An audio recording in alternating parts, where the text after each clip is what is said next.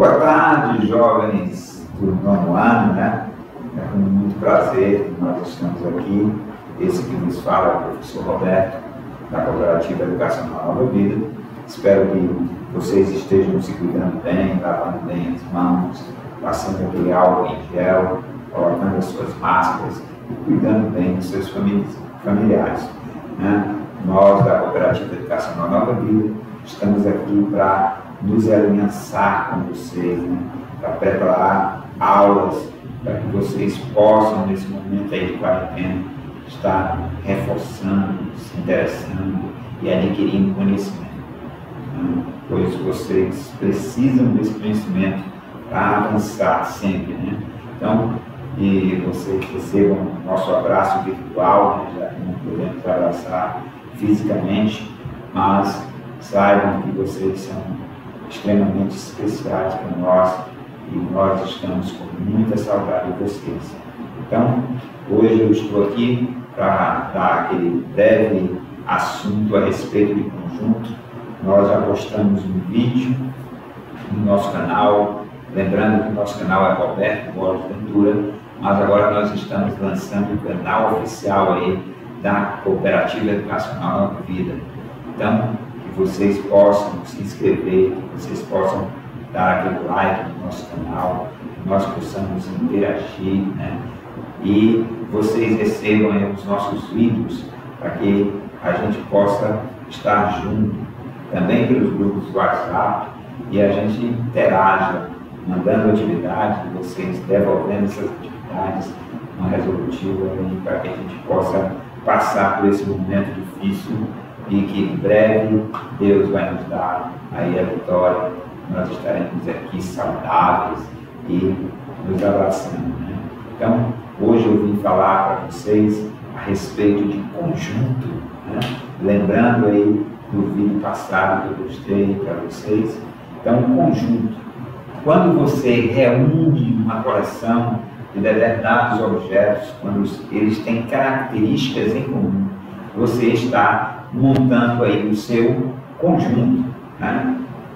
Um exemplo que nós temos aí é aquele pessoal que é, faz coleção de carrinhos, aqui nós temos aqui o exemplo aqui de um conjunto das nossas vogais, né?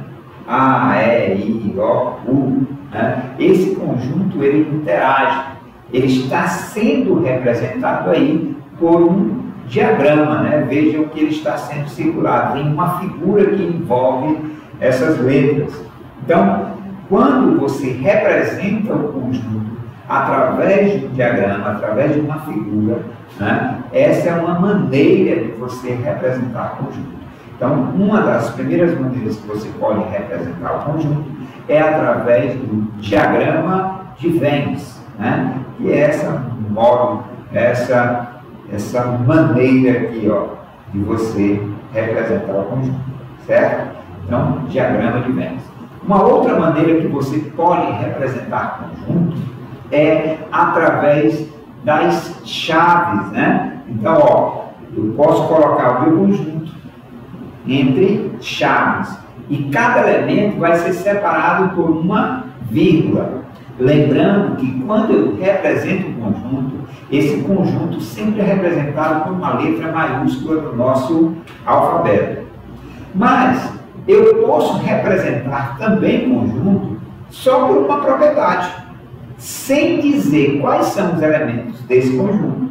Então eu vou aqui, ó, tirar aqui essas vocais que estão aí, a, e, o, tirarei elas e vou botar agora uma propriedade para representar. Então, através de uma propriedade, você também pode representar conjunto. Coloca aí, ó. o outro.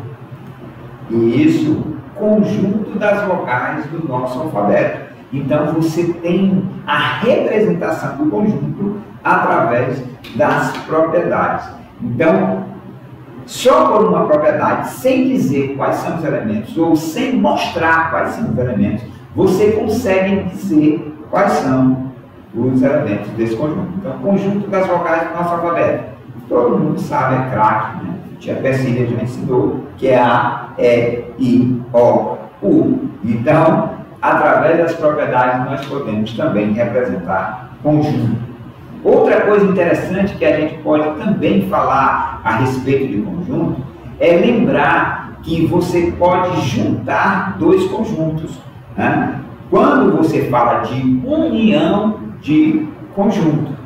Então, agora eu vou mostrar para vocês como é a união de conjunto. Né? Quando eu junto, né? junto aqui, ó, estou juntando um conjunto com outro conjunto. Então, quando eu reúno tudo, pego tudo, eu estou fazendo união de conjunto.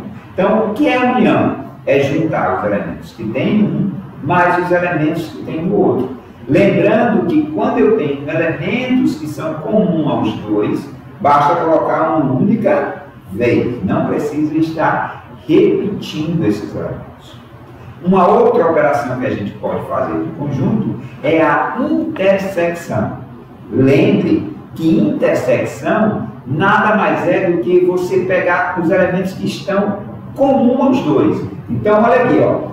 Então, veja que a parte que está aí, ó, em vermelho, é justamente essa região que faz parte de um conjunto e do outro conjunto ao mesmo tempo. Né? Então, essas são as operações de conjunto.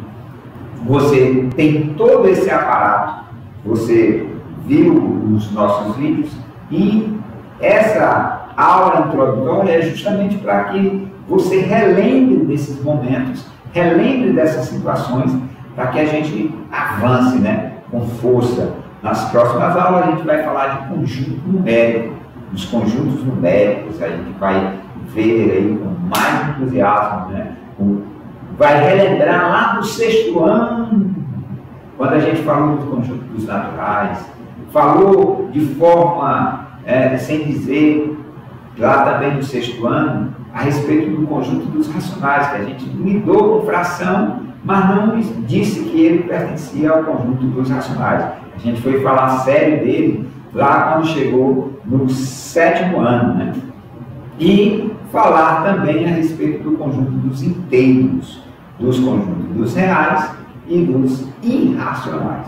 Então, nossas próximas aulas vão ser aí de relembrar todo esse aparato que vocês estudaram lá do sexto até hoje, né? até o dia de hoje. Então, que vocês possam ter apreciado esse breve momento, que vocês possam se dedicar nesse momento, nessa, nesse período de quarentena, que vocês estejam interagindo aí com a sua família, né?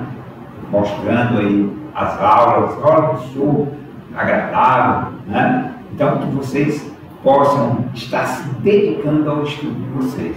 Então, espero que vocês tenham gostado. Nós postaremos novas aulas, faremos aí essa interação aí via WhatsApp. Que vocês se cuidem, que vocês estejam bem ao retornar. Então, forte abraço do seu professor Roberto.